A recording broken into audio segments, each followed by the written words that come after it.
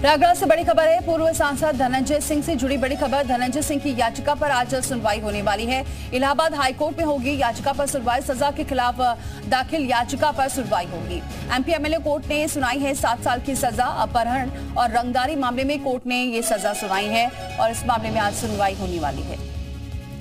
मोहम्मद गुफरान हमारे साथ इस खबर पर जुड़ चुके हैं। गुफरान, क्या जानकारी आज सुनवाई होने वाली है? ये जो बाहुबली पूर्व सांसद धनंजय सिंह है, उनकी क्रिमिनल अपील पर हाईकोर्ट में सुनवाई होनी है।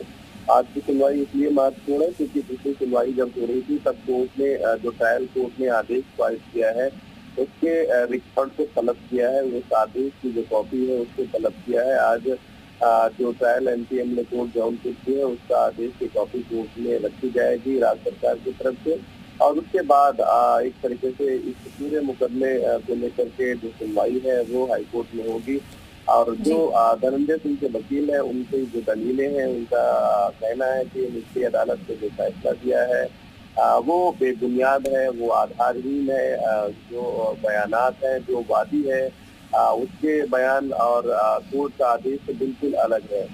फ़िलहाल इस पूरे मामले में राज्य सरकार जब अपना पक्ष रखेगी तब देखना होगा कि हाईकोर्ट इस पूरे मामले में धनंजय सिंह को राहत देता है या नहीं देता है क्योंकि बिल्कुल देखना होगा क्या राहत मिल पाती है या नहीं। बहुत शुक्रिया गुफरान ये जानकारी हम तक पहुँचाने के लिए।